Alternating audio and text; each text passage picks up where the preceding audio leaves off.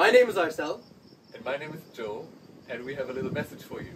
So always focus on the positive and see the wonderful things in the world.